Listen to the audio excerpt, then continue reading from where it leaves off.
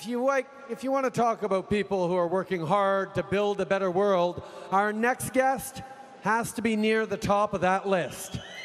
In 2015, he made a 15 year commitment to support Global Citizen, the UN Sustainable Development Goals, and the movement to end extreme poverty.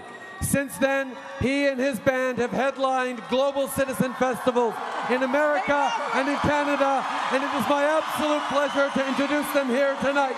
Please join me in welcoming Coldplay!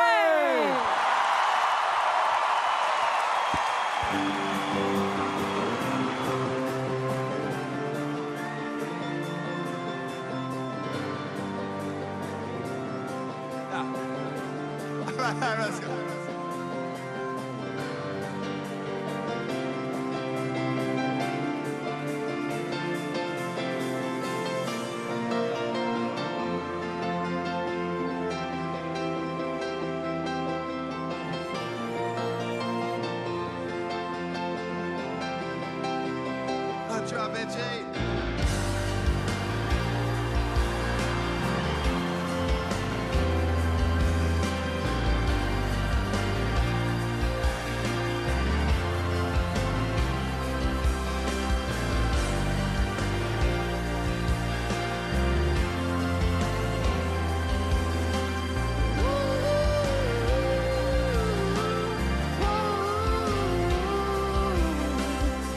She was just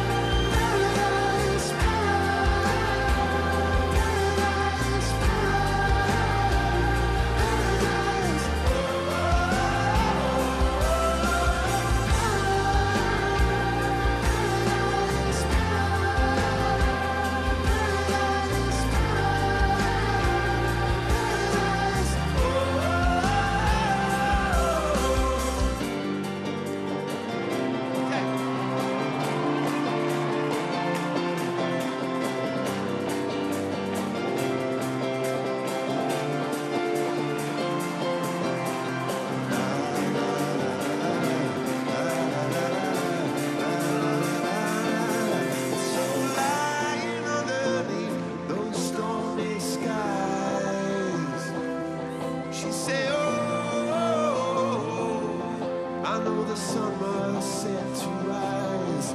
This could be paradise,